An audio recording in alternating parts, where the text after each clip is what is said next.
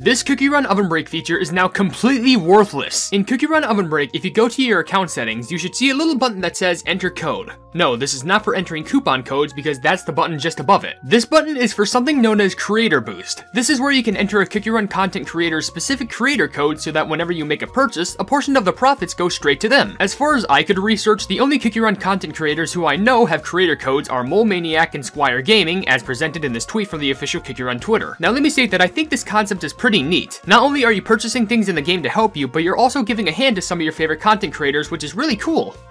But it's bad when there's no one left. Mole Maniac has left the Cookie Run scene. Squire Gaming has left the Cookie Run scene. You know what that means? This button is completely meaningless when the only two people you gave codes to now have branched off from Cookie Run. Either add some more plubbing creator codes or remove the button altogether. I mean, there's gotta be at least one person out there who still plays this game constantly, right?